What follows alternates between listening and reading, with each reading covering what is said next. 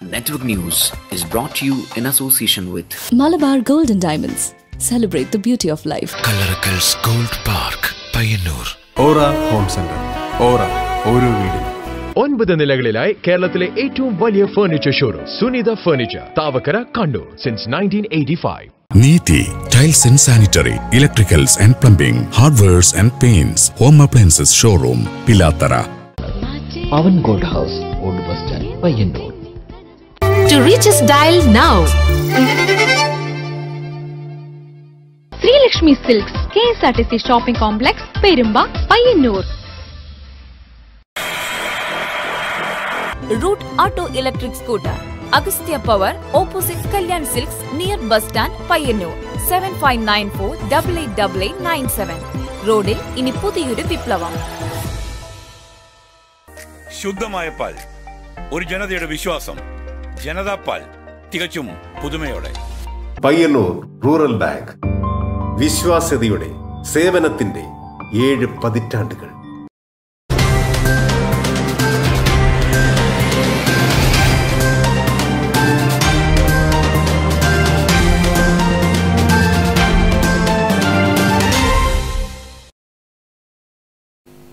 നമസ്കാരം. Network news അവറിലേക്ക് സ്വാഗതം. പയ്യന്നൂർ നഗരസഭ ചെയർപേഴ്സൺ കെ വി ലളിതയുടെ അധ്യക്ഷതയിൽ കോവിഡ് കോർ കമ്മിറ്റി അവലോകന യോഗം ചേർന്നു.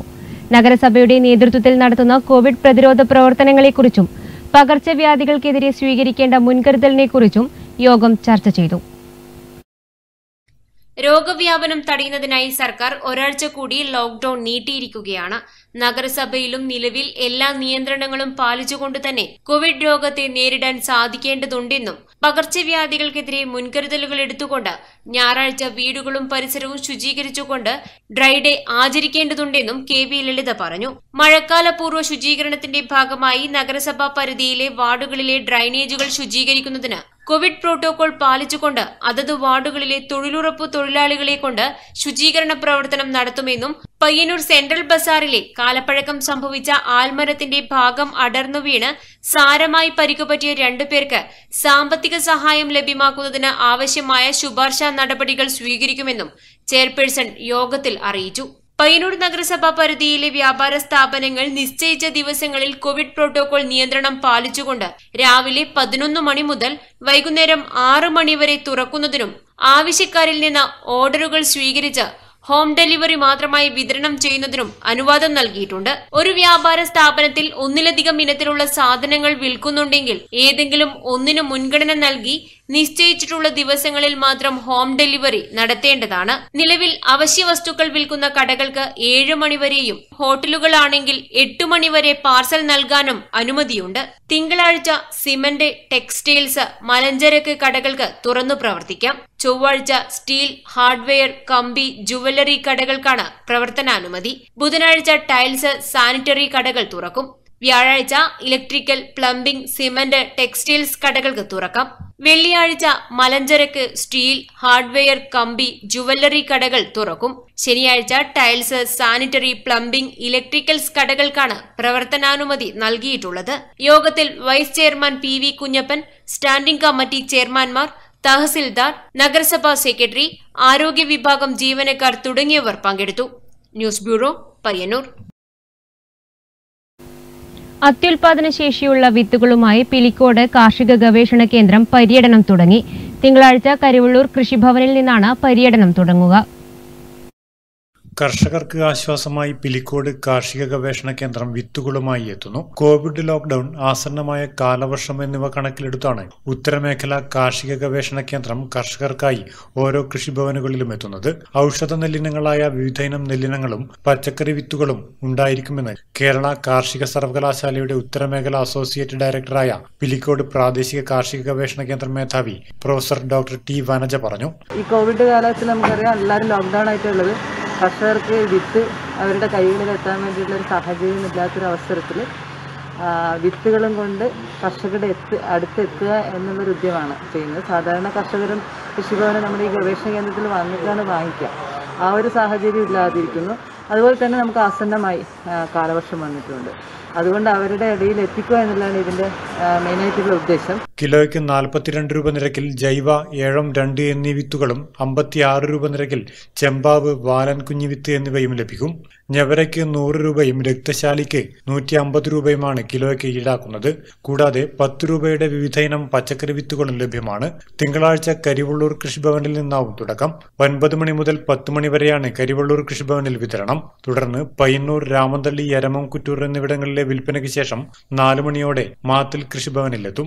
തിങ്കളാഴ്ച രാവിലെ പത്ത് പതിനഞ്ച് മുതൽ പത്ത് നാൽപ്പത്തിയഞ്ച് വരെ വെള്ളൂർ ബാങ്കിന് സമീപവും പത്ത് നാൽപ്പത്തിയഞ്ച് മുതൽ പതിനൊന്ന് പതിനഞ്ച് വരെ പയ്യന്നൂർ പെരുമ്പാപ്പള്ളിക്ക് സമീപവും പതിനൊന്ന് മുപ്പത് മുതൽ പന്ത്രണ്ട് മുപ്പത് വരെ രാമന്തലി കൃഷിഭവനിലും പന്ത്രണ്ട് നാൽപ്പത്തിയഞ്ച് മുതൽ ഒന്ന് നാൽപ്പത്തിയഞ്ച് വരെ കുഞ്ഞമംഗലം കൃഷിഭവനിലും രണ്ട് പതിനഞ്ച് മുതൽ മൂന്ന് പതിനഞ്ച് വരെ എരമംകുറ്റൂർ കൃഷിഭവനിലും നാല് മണി മുതൽ നാല് മുപ്പത് വരെ മാത്തിൽ കൃഷിഭവൻ റോഡിലും വിത്ത് വിൽപ്പന ഉണ്ടായിരിക്കും. News bureau Karivellur. K S T P റോഡിൽ രാമപുരം ഇറക്കത്തിൽ വെള്ളമൊഴുകുന്നത് റോഡിലൂടെ. ഇത് റോഡിന്റെ തകർച്ചയ്ക്കും അപകടങ്ങൾക്കും കാരണമാകുന്നു. രാമപുരം ഇറക്കത്തിൽ കഴിഞ്ഞ വർഷം മഴക്കാലം മുതൽ തുടങ്ങിയതാണ് റോഡിലൂടെ വെള്ളമൊഴുകാൻ. റോഡരികിലൂടെ സ്വകാര്യ ടെലികോം കമ്പനി കേബിളുകൾ സ്ഥാപിച്ചിരുന്നു. കുന്നിൻ മുകളിൽ നിന്ന് ഒഴുകി വരുന്ന ജലം ഇതുവഴി പുറത്തേക്ക് ഒഴുകുകയാണ്. ഇത് റോഡിന്റെ തകർച്ചയ്ക്കും അപകടങ്ങൾക്കും കാരണമാകുന്നു. റോഡിന്റെ അശാസ്ത്രീയതയും അലൈൻമെന്റിൽ മാറ്റം വരുത്തിയതും ഇവിടെ നിരവധി അപകടങ്ങൾക്ക് കാരണമായിട്ടുണ്ടെന്ന് നാട്ടുകാർ പറയുന്നു. റോഡിലൂടെ വെള്ളം ഒഴുകുന്നത് തടയാൻ അടിയന്തര നടപടി വേണമെന്നും നാട്ടുകാർ ആവശ്യപ്പെടുന്നു. News bureau Pazhayangadi. ദേശീയപാത വികസനത്തിന്റെ ഭാഗമായി മരങ്ങൾ മുറിച്ചു തുടങ്ങി. ഇനി യാത്രികർക്ക് തണലേകാൻ ഈ മരങ്ങൾ ഉണ്ടാകില്ല.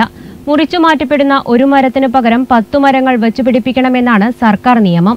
നിയമങ്ങളൊക്കെ എവിടെ പാലിക്കപ്പെടുന്നു. പ്രകൃതിയോട് ഇണങ്ങിയാകണം വികസനമെന്ന് നാം എന്നാണ് പഠിക്കുക? കാലം മാറുമ്പോൾ വികസനം വരും. അപ്പോൾ പഴയവയ്ക്ക് പുതിയതിന് സ്ഥാനമൊഴിഞ്ഞു കൊടുക്കേണ്ടി വരും. അത് മരങ്ങളാകുമ്പോൾ നമുക്ക് കുറച്ച് വേദനിക്കുമെന്നത് സ്വാഭാവികം മാത്രം. അതുകൊണ്ട് തന്നെയാണ് അത് വാർത്തയാകുന്നതും. ദേശീയപാത വികസനത്തിന്റെ ഭാഗമായി റോഡിന്റെ ഇരുവശത്തുമുള്ള മരങ്ങൾ മുറിച്ചു തുടങ്ങി. മരങ്ങൾ മുറിച്ചു മാറ്റുന്നത് കാസർഗോഡ് ജില്ലയിലെ പടുവളവും കടന്നിരിക്കുന്നു. യാത്രികർക്കും ടൗണിലെത്തുന്നവർക്കും ഇതുവരെ ഈ മരങ്ങൾ തണലേകി. കാലത്തിന്റെ മാറ്റത്തിൽ ഇനിവയില്ല തിങ്കളാഴ്ചയോടെ മരം മുറിക്കുന്നവർ കരുവള്ളൂർ ബസാറിലെത്തും. അതോടെ ബസാറിലെ മരങ്ങൾ വെട്ടിവീഴ്ത്തപ്പെടുന്നത് കാണുന്നവർക്ക് വൈകാരികമായ അനുഭവമായിരിക്കും. പുതിയ കാലത്തിനും വികസനത്തിനും മരങ്ങൾക്ക് വഴിമാറി കൊടുക്കാതെ വയ്യ. എങ്കിലും ഒന്ന് നമുക്ക് സാധ്യമായിരുന്നു. റോഡ് വക്കിലെ നാടൻ മരങ്ങളൊക്കെ കഴിവതും മുറിക്കാതെ സംരക്ഷിച്ച് ദേശീയപാത വികസനം സാധ്യമായിരുന്നു. വിഷവാതകങ്ങളും പൊടിയും ചൂടും നിറഞ്ഞ റോഡ് വക്കിൽ ഓക്സിജൻ ലഭ്യത കുറഞ്ഞു മനുഷ്യജീവിതങ്ങൾ വീർപ്പുമുട്ടുമ്പോൾ കണ്ണിലെ കൃഷ്ണമണി പോലെ കാക്കേണ്ട മരങ്ങളെയാണ് വികസനത്തിന്റെ പേരിൽ നാം മുറിച്ചു തള്ളുന്നത്. നമുക്ക് പച്ചപ്പും ജീവശ്വാസവും തരുന്ന മരങ്ങൾ മുറിച്ചു മാറ്റപ്പെടുമ്പോൾ ഒരു മരത്തിനു പകരം പത്തു മരങ്ങൾ വച്ചു പിടിപ്പിക്കണമെന്നാണ് സർക്കാർ നിയമം. ഈ നിയമങ്ങളൊക്കെ ഇവിടെ പാലിക്കപ്പെടുന്നു. പ്രകൃതിയോട് ഇണങ്ങിയാകണം വികസനമെന്ന് നാം എന്നാണ് പഠിക്കുക. News bureau Karivellur. മഹാമാരിക്കാലത്തും കരനെൽ കൃഷിയിൽ വിപ്ലവം സൃഷ്ടിക്കുകയാണ് ചെറുതാഴം പഞ്ചായത്ത്. ഗ്രാമപഞ്ചായത്തിൽ പത്ത് ഹെക്ടർ കരനെൽ കൃഷിക്കായി പദ്ധതി വെച്ചിട്ടുണ്ട്. നെൽകൃഷിയിൽ ഇരട്ടി ഉൽപാദനം എന്ന ലക്ഷ്യം നിറവേറ്റാൻ പരിശ്രമിക്കുകയാണ് ചെറുതാഴം പഞ്ചായത്തിലെ കർഷകരും കൃഷിഭവനും. നിരവധി കർഷകരാണ് കരനെൽ കൃഷി ചെയ്യാൻ മുന്നോട്ട് വന്നിട്ടുള്ളത്. വിളപരിക്രമത്തിന്റെ ഭാഗമായി കഴിഞ്ഞ വർഷം മരച്ചീനി കൃഷി ചെയ്ത കർഷകർ ഇപ്രാവശ്യം കരനെൽ കൃഷിയിലേക്ക് മാറിയിട്ടുണ്ട്. കരനെൽ കൃഷിക്ക് ഏറ്റവും അനുയോജ്യമായ ആതിര നെൽവിത്ത് കൃഷിഭവന്റെ നേതൃത്വത്തിൽ കർഷകർക്കായി വിതരണം ചെയ്യുന്നുണ്ട്. ആവശ്യമുള്ള കർഷകർക്ക് നിലമൊരുക്കുന്നതിനുള്ള സംവിധാനവും ചെറുതാഴം പഞ്ചായത്ത് കാർഷിക കർമ്മസേന ഒരുക്കി നൽകും. വിത്ത് വാങ്ങുന്നതിനും നിലമൊരുക്കുന്നതിനുമുള്ള ചെലവ് ഗ്രാമപഞ്ചായത്ത് സബ്സിഡിയായി അനുവദിക്കും. കുളപ്പുറത്തെ വണ്ണാരട്ട സുരേഷിന്റെ നാലര ഏക്കർ കരനെൽ കൃഷിസ്ഥലം കൃഷി ഓഫീസർ പി നാരായണനും കൃഷി അസിസ്റ്റന്റ് എം കെ സുരേഷും സന്ദർശിച്ചു. കരനിൽ കൃഷി ചെയ്യുന്ന എല്ലാ കർഷകർക്കും ആനുകൂല്യം നൽകാൻ ആവശ്യമായ നടപടികൾ സ്വീകരിക്കുമെന്ന് കൃഷി ഓഫീസർ പറഞ്ഞു. News bureau Pilathara. ചെറുതാഴം പഞ്ചായത്തിലെ പടിഞ്ഞാറേ വീട്ടിൽ ദേവി ചികിത്സാ സഹായം തേടുന്നു. തലച്ചോറിന് ഗുരുതരമായ രോഗം ബാധിച്ച് ചികിത്സയിലാണ്. കൂലിപ്പണിയെടുത്ത് ജീവിച്ചു വരുന്ന ഈ നിർധന കുടുംബത്തിന് താങ്ങാവുന്നതിലും വലിയ ബാധ്യതയാണ് ഇതുവരെയുള്ള ചികിത്സയ്ക്ക് തന്നെ ചെലവായത്. തുടർ ചികിത്സയ്ക്ക് സുമനസ്സുകളുടെ സഹായം തേടുകയാണ് കുടുംബം.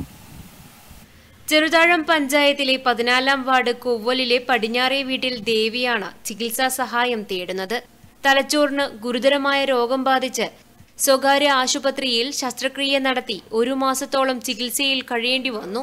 കൂലിപ്പണിയെടുത്ത് നിത്യവൃത്തി നടത്തുന്ന ഈ നിർധന കുടുംബത്തിന് ചികിത്സയ്ക്ക് ആശുപത്രിയിൽ തന്നെ ലക്ഷക്കണക്കിന് രൂപ ചിലവായി. തുടർ ചികിത്സയ്ക്കായി നാട്ടുകാരുടെ നേതൃത്വത്തിൽ എം വി രവി ചെയർമാനും കെ മനോജ് കൺവീനറുമായുള്ള ചികിത്സാ സഹായ കമ്മിറ്റി രൂപീകരിക്കുകയും സാമ്പത്തിക സമാഹരണം ആരംഭിക്കുകയും ചെയ്തിട്ടുണ്ട്.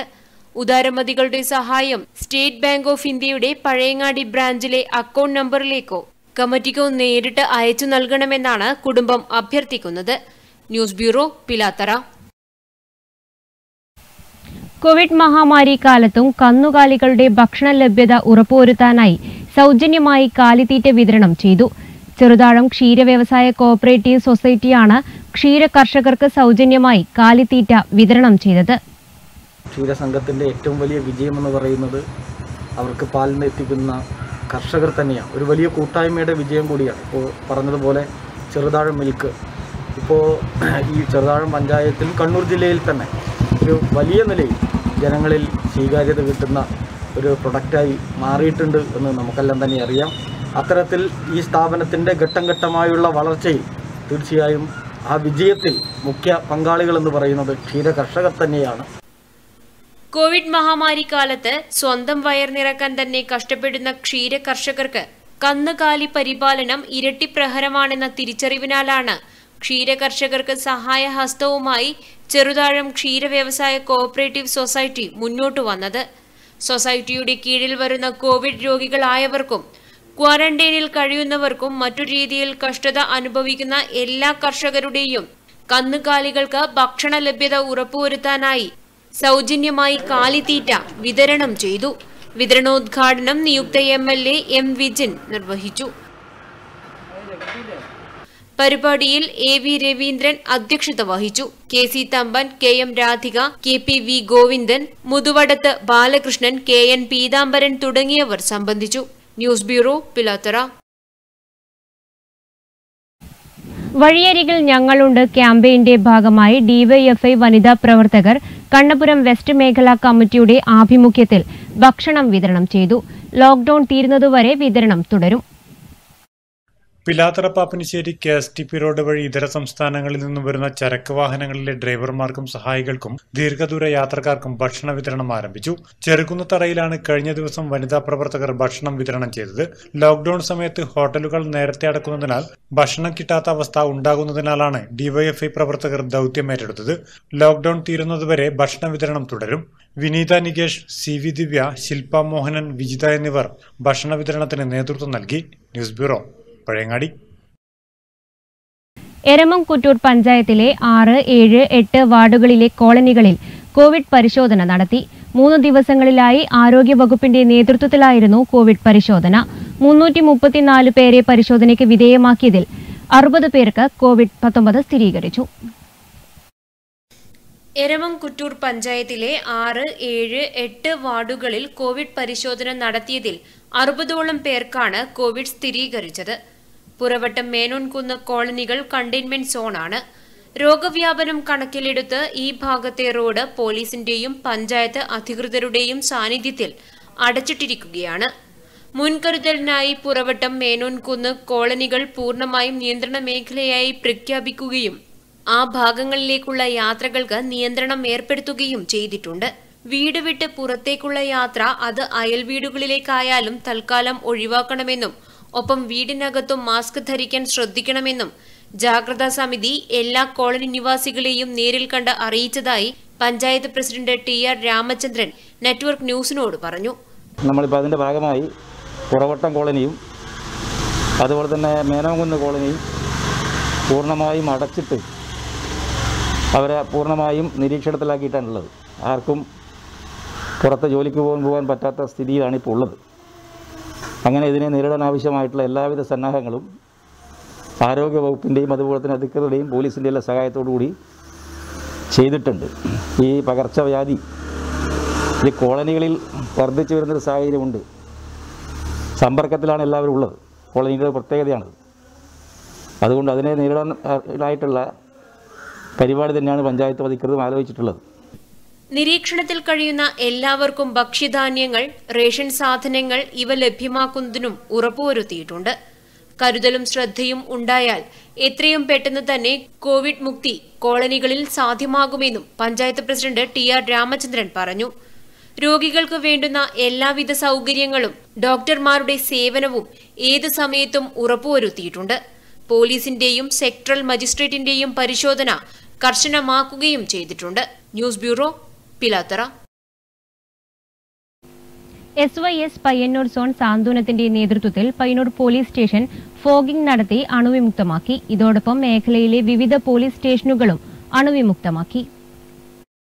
പയ്യന്നൂർ പോലീസ് സ്റ്റേഷനിൽ നടത്തിയ ശുചീകരണ പ്രവൃത്തി S Y S Payyanur zone Santhwanam president Hafil Sulaiman Fazil ഉദ്ഘാടനം ചെയ്തു. ഒന്നിനും കഴിയാത്ത ആളുകൾക്ക് അവർക്ക് വേണ്ട സൗകര്യങ്ങളും ഇങ്ങനെ എണ്ണിയാൽ ഒടുങ്ങാത്ത രീതിയിൽ പല നിലക്കുള്ള അതുപോലെ രോഗികളെ ശുശ്രൂഷിക്കാനും അവർക്ക് വേണ്ട ഒത്താശകൾ ചെയ്തു കൊടുക്കാനും അവർക്ക് വേണ്ട മരുന്നുകൾ അത് കേരളത്തിൽ അങ്ങോളം ഇങ്ങോളം എന്നല്ല കേരളത്തിന് പുറത്തും പല ഭാഗങ്ങളിലായി മരുന്നുകൾ എത്തിച്ചു കൊടുക്കാനും അതിന് പ്രത്യേകം സജ്ജമാക്കിയ ടീം തന്നെ നമ്മളുടെ കയ്യിൽ നിലനിൽക്കുകയാണ്. തുടർന്ന് പയ്യന്നൂർ പോലീസ് സ്റ്റേഷൻ ഫോഗിംഗ് നടത്തി അണുവിമുക്തമാക്കി ഇതോടൊപ്പം പരിയാരം പഴയങ്ങാടി കണ്ണപുരം വളപട്ടണം ചെറുപുഴ പെരിങ്ങോം ചീമേനി പോലീസ് സ്റ്റേഷനുകളും അണുവിമുക്തമാക്കി ബ്ലോക്ക് പഞ്ചായത്ത് താലൂക്ക് ആശുപത്രികൾ തുടങ്ങിയ സർക്കാർ സ്ഥാപനങ്ങളും കോവിഡ് രോഗികൾ താമസിച്ച വീടുകളും ഫോഗിംഗ് നടത്തി അണുവിമുക്തമാക്കി Payyanur police station S H M C Pramod ആശംസകൾ അർപ്പിച്ച് സംസാരിച്ചു. പയ്യന്നൂർ പോലീസിനെ സംബന്ധിച്ച് വളരെയധികം സന്തോഷം ഉളവാക്കുന്ന ഒരു അവസരമാണ്. എന്തെന്നാൽ ഈ മഹാമാരി പടർന്നിരിക്കുന്ന ഈ കാലഘട്ടത്തിൽ സ്വയം സന്നദ്ധരായി സേവനം ചെയ്യുന്നതിന് വേണ്ടിയിട്ടും ആ മഹാമാരിയുടെ ആഘാതം കുറയ്ക്കുന്നതിന് വേണ്ടിയിട്ടും തങ്ങളാൽ കഴിയുന്ന സഹായ സഹകരണങ്ങൾ ആർക്കാണോ ആവശ്യമുള്ളത് അവിടെ എത്തിച്ചേർന്ന് നൽകുന്ന എസ് ഐ എസ് പയ്യന്നൂർ സോണിലെ സാന്ത്വനം വളണ്ടിയർമാർക്ക് പയ്യന്നൂർ പോലീസിന്റെ എല്ലാവിധ ആശംസകളും നേരുന്നു. S P Nasim Haji Sharif Alingil Basid Alingil A T P Farooq എന്നിവർ ശുചീകരണ പ്രവർത്തനങ്ങൾക്ക് നേതൃത്വം നൽകി. News bureau Payyanur. Subhiksha Keralam പദ്ധതിയുടെ ഭാഗമായി രാമന്തളിയിൽ നടത്തിയ മത്സ്യകൃഷിയുടെ വിളവെടുപ്പ് നടന്നു. ഗ്രാമപഞ്ചായത്ത് മെമ്പർ ബിന്ദു നീലകണ്ഠൻ വിതരണോദ്ഘാടനം നിർവഹിച്ചു. സുഭിക്ഷ കേരളം പദ്ധതിയുടെ ഭാഗമായി വിനോദ് കുമാർ രാമന്തലിയാണ് മത്സ്യകൃഷി നടത്തിയത്. സർഗ രാമന്തലിയുടെ നേതൃത്വത്തിൽ മത്സ്യകൃഷി വിളവെടുത്ത് വിതരണം നടത്തി. രാമന്തലി ഗ്രാമപഞ്ചായത്ത് മെമ്പർ ബിന്ദു നീലകണ്ഠൻ സർഗ രാമന്തലി സെക്രട്ടറി ഗംഗാധരൻ കക്കോപ്പുറത്തിന് മത്സ്യം കൈമാറി ഉദ്ഘാടനം നിർവഹിച്ചു. Vijayan C Sujith M Anil T K തുടങ്ങിയവർ ചടങ്ങിൽ സംബന്ധിച്ചു. News bureau Payyanur. ഈ ന്യൂസ് ബുള്ളറ്റിൻ അവസാനിക്കുന്നു. നമസ്കാരം.